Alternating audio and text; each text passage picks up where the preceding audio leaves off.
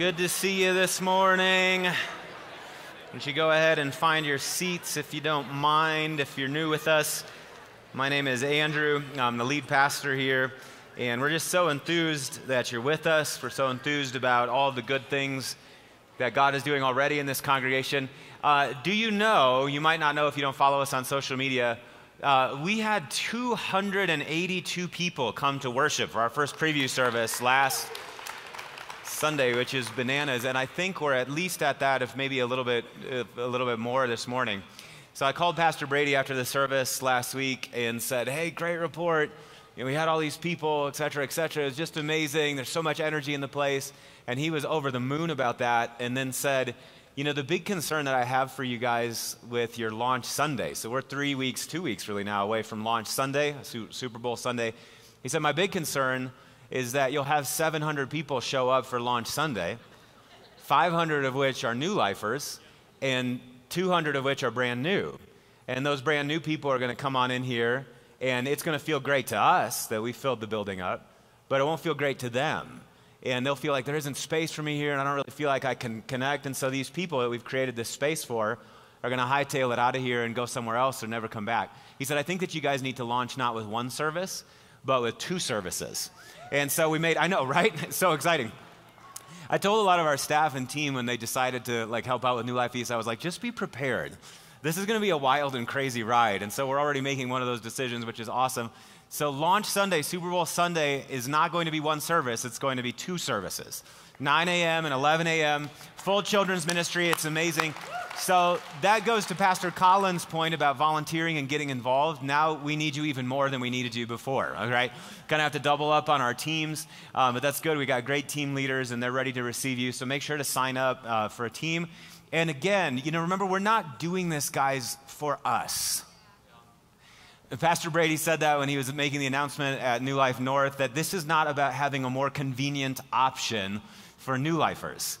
This is about creating space so that those that don't have church family can have church family. The scripture says in Psalm 68 that God sets the lonely in families. So, what we're doing is we're setting the table for people to come and be part of what God's doing here. So, invite your friends and invite your neighbors and volunteer to be on a team, and let's be ready to host people, receive people when they come on Super Bowl Sunday. That's the first little thing I had to say. Second thing I wanted to say is uh, part of that, you know, we just really feel like our mission on the east side of the city is to shepherd people well. And not just here, but in our homes throughout the week. And so, as part of our launch, what I'm really looking for is people who can share the yoke with us from a pastoring people standpoint. We need to get groups going around here.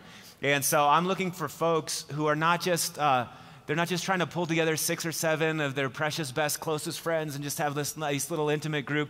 I'm looking for people who want to throw the doors of their home open to those folks that need community. And so, if you have any experience with group leadership whatsoever, if you've led groups in the past, if you feel like you have the gift of hospitality, if you want to share this aspect of our mission together, would you please do me a favor and email me? You can find my email address on the website and just let me know hey, I heard the announcement on Sunday and I'm interested in finding out more about New Life East groups and I'll share a little bit more vision with you, and then we'll work through kind of an application process and get you rolling with that. But we need people who can share the yoke with us, and so please email me with that. Sound good?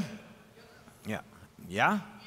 You know what's funny is the imbalance of the room here. I see people just kind of came in and they went plunk, and then over here, everybody's feeling a little, we'll, we'll figure it out eventually. Our series that we're working through is called First Things. First Things. All of our congregations are doing this to start out the year. Just thinking through what are those habits that we embrace as believers that set us up, position us to not only receive the life of God, but transmit the life of God to the world. Last week I talked about the discipline of Scripture. Uh, today I want to talk about the discipline of church, the habit of church. And so I'm going to be in Genesis 1, and then I'm going to in 2, and then I'm going to tie a few different texts together. But before we get there, let's just pause and acknowledge the presence of God, ready ourselves to receive the Word of God.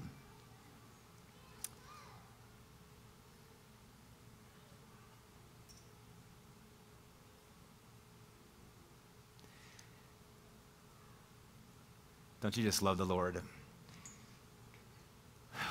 We just acknowledge here and now, Jacob said, Surely God was in this place and I wasn't aware of it. But we're aware. we're aware of you, God, and we want to become more aware of you. We acknowledge that because the whole earth belongs to God, there's never been a time in our lives when we weren't standing on holy ground. But here and now, we want to take off our shoes and just say yes to you, become awed by you again. Lord, I pray that you would dazzle us this morning. If you are the living God, you're the God of surprise, and I pray that you would surprise us. I pray that you would fill our hearts with wonder upon wonder, that you would help us remember the goodness, the glory, the beauty of being called sons and daughters of the living God, the goodness, the glory, and the beauty of being called the family of God. Help us remember that this morning. We pray that the scriptures would speak. We pray that they would erupt in this place. We pray, Lord Jesus, that you would come and that with your righteous right hand, with your mighty arm, that you would tear down in us all that stands against you and all that stands against the purposes of God. And we pray that you would build a tabernacle for yourself inside of us individually and among us as a people. Grant that we're asking this morning. We pray that the words of our mouths and the meditation of our hearts would be acceptable in your sight, O Lord, our strength and our Redeemer. In the name of the Father, and the Son, and the Holy Spirit. And everybody said, Genesis 1, the writer of the book of Genesis says, In the beginning, God created the heavens and the earth. You know it. Now, the earth was formless and empty, darkness was over the surface of the deep, and the Spirit of God was hovering over the waters. And God said, Let there be light, and there was. God saw that the light was it was good. And the beautiful thing about reading through the creation narrative of Genesis 1 is that at every stage in the creation process, whatever God does, he does good. And he makes it, he makes it good. He gathered up the water under the sky, and the scripture says in verse 10 that he saw that that was good. And then he brought dry land out, and he saw that that was good. And then the land produced vegetation, seed bearing plants according to their kinds. And God saw that was good, and He made the great lights, the sun and the moon and the stars, to mark the seasons and the days and the times and the years. And God saw that was good. And then He filled the land and the water with living creatures. It was teeming with creatures, and God saw that it was good. Everything was good because everything God does is good, and nothing that God does is, He doesn't make bad stuff. God only makes good stuff, and God creates human beings and the human beings are good. And then we come to this moment in Genesis chapter 2 and verse 15. The Lord God took the man and put him in the Garden of Eden to work it and take care of it. And the Lord God commanded the man, You are free to eat from any tree that's in the garden, but you must not eat from the tree of the knowledge of good and evil. For when you eat of it, you will certainly die. And then the Lord God said, It is. Wait, what? I mean, it's like all of a sudden the record screeches. The creation narrative, everything's good, good, good, everything's good. God makes the land and the sky and the seas and the trees and the fields and the fish and the livestock and good. He's just good over everything. And then all of a sudden we get a pronouncement that something is not good. The Lord God said, It is not good for the man to be alone. I'll make a helper suitable for it. It's not good that a human being should be alone. That, that should cause us pause right then and there. That everything that God is making and everything that God is doing is good. And the first time we see no good in the Bible, it's when a human being is alone. Human beings were not made to be alone.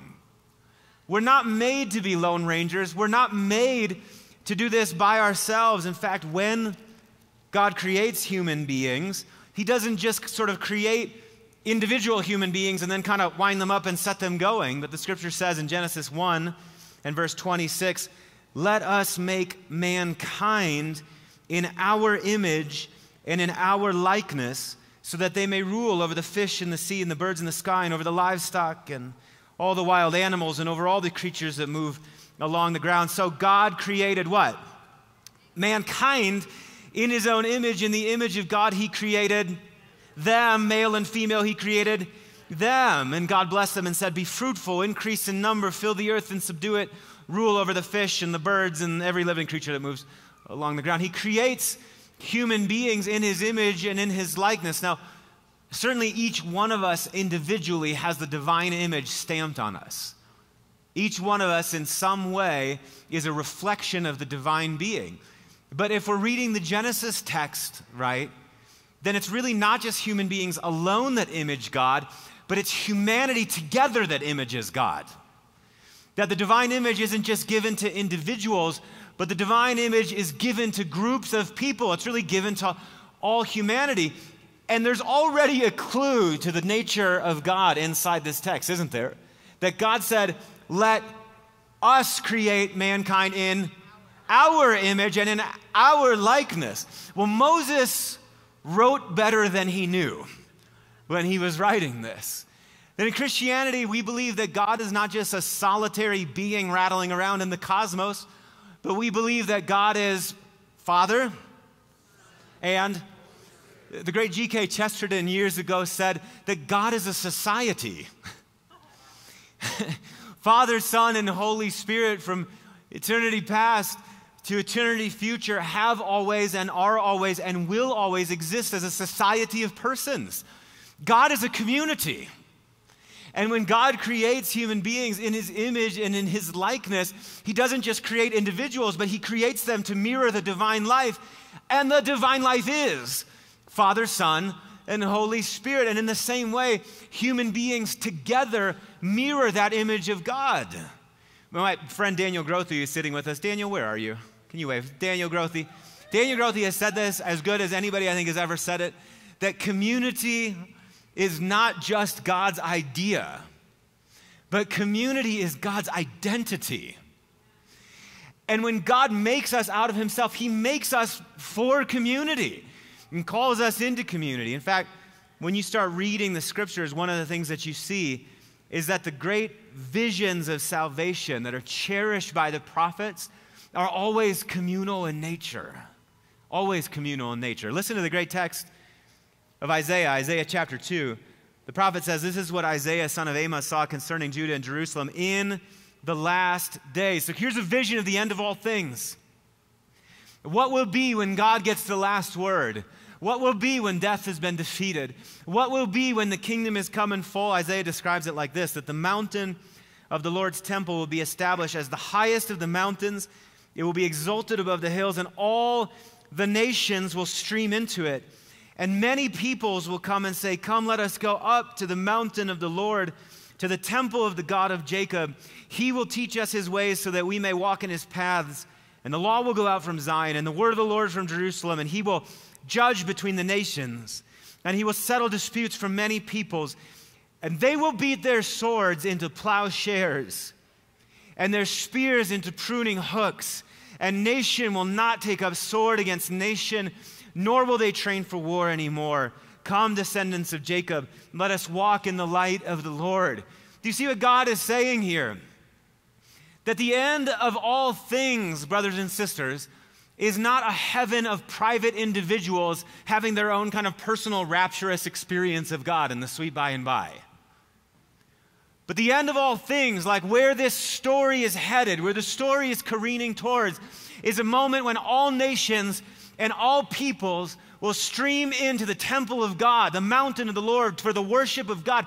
And the immediate impact of that is that all antagonism, all division between them, every wall and every barrier that's been thrown up by sin, that that will be deconstructed so that the vision of Genesis may be realized that they're fruitful and they increase in number, and the divine image through humanity is expressed into the world. So, when you ask the question, why is the habit of church important? It's because we're living ahead of time that vision of where the world is going. What will be when God, the triune God, is all in all, is that we'll have a humanity where there is neither black nor white, Jew or Gentile, male or female, slave or free, but God will be all and will be in all. That's, brothers and sisters, where the story is going. Paul wrote it like this in Ephesians chapter 2. Paul's whole missionary enterprise was to see this vision come to pass. Paul wrote, Surely you have heard about the administration of God's grace that was given to me for you. That is the mystery made known to be my, by revelation, as I've already written briefly. And in reading this, you will be able to understand my insight into the mystery of Christ, which was not made known to people in other generations, as it has now been revealed by the Spirit to God's holy apostles and prophets.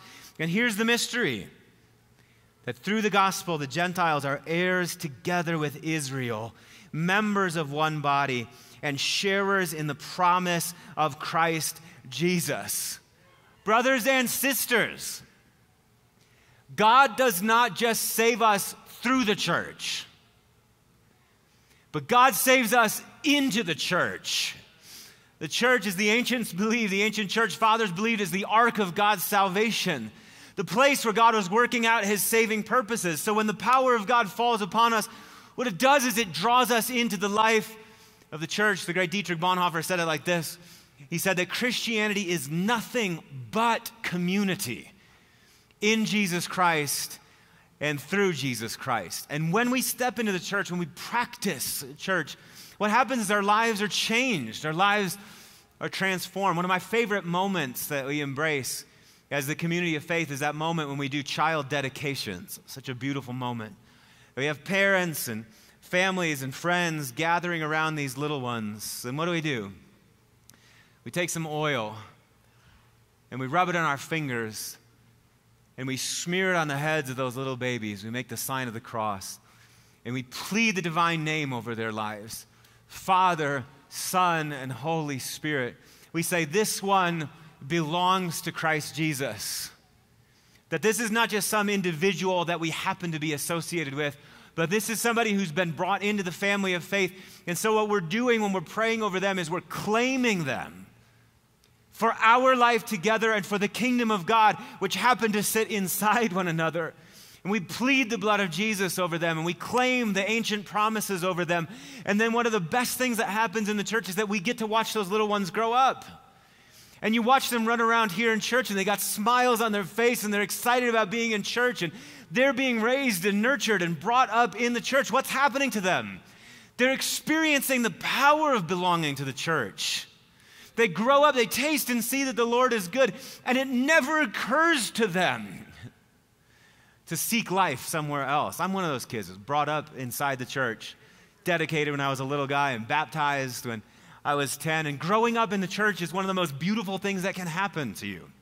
Belonging to the church is one of the most beautiful things that can happen to you. As a little guy growing up in the church, I just remember like all of those people who were constantly encouraging me and comforting me and building me up. I mean, it's like this uh, the church I grew up in was 700 or so people.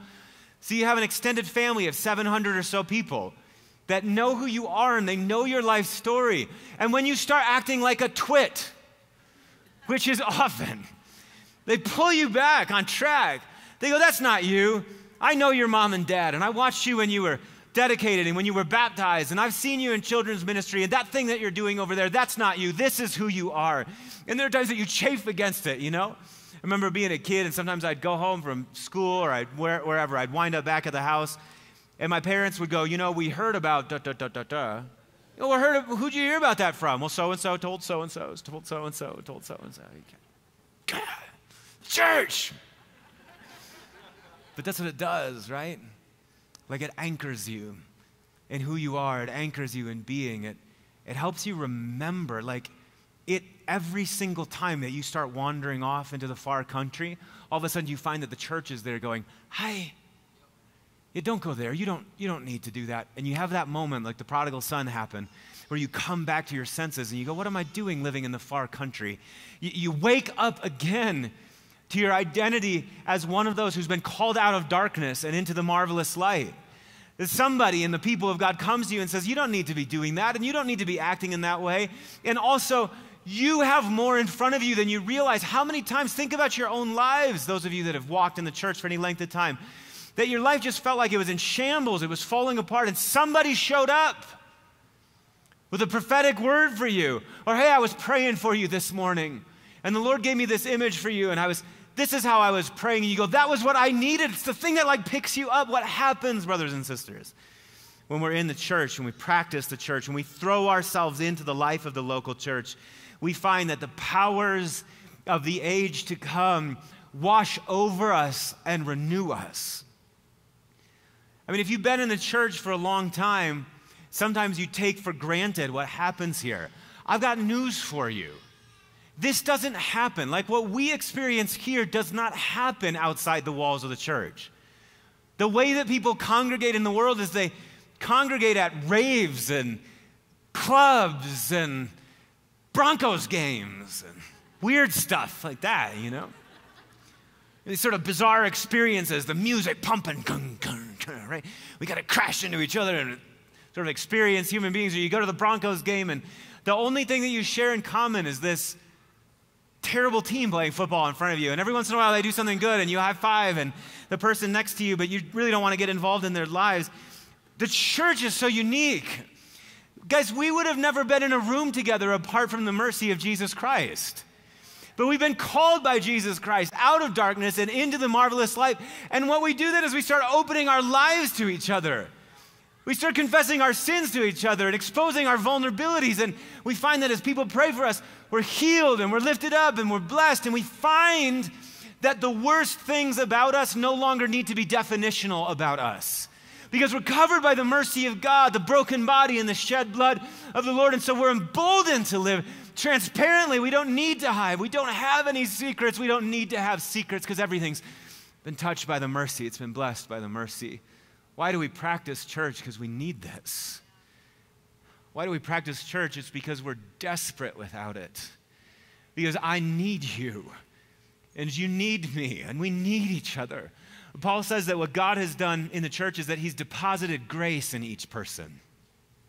That each person has this divine deposit of supernatural power that when it breaks open and starts flooding out to other people that we find that that grace of god it wakes us up it makes us alive. We all, in different ways, are carriers of the breath of God. And when that breath comes out of us to other people, we find that, like in Genesis 2, the dust was put together and the, God breathed into the, the dust nostrils the breath of life, and the man stood up. What happens is we encounter one another and we stand up, we wake up. We remember who we are. But it's not just for us, is it? The power that exists in the church is not just for the church. Paul writes this, one of my favorite passages in the New Testament. Paul is talking about what it looks like to have a sense of decorum in the church, doing everything in a decent, a decent and an order kind of fashion. He's talking about tongues and prophecy in 1 Corinthians chapter 14, and he says that tongues are a sign not for believers but for unbelievers. Prophecy, however, is not for unbelievers but for believers. And so, if the whole church comes together and everybody is speaking in tongues, and inquirers or unbelievers come in. You see, Paul presupposes that the gathering of the faithful is a public gathering in some way, and that people are going to wander in because they're interested in what's happening inside the church. And he says, So if these unbelievers or inquirers come in and they see y'all speaking in tongues, aren't they going to say that you're crazy? But if an unbeliever or an inquirer comes in while everyone is prophesying, they are convicted of sin and they are brought under judgment by all. Verse 25, as the secrets of their hearts are laid bare. And so they will fall down and worship God, exclaiming,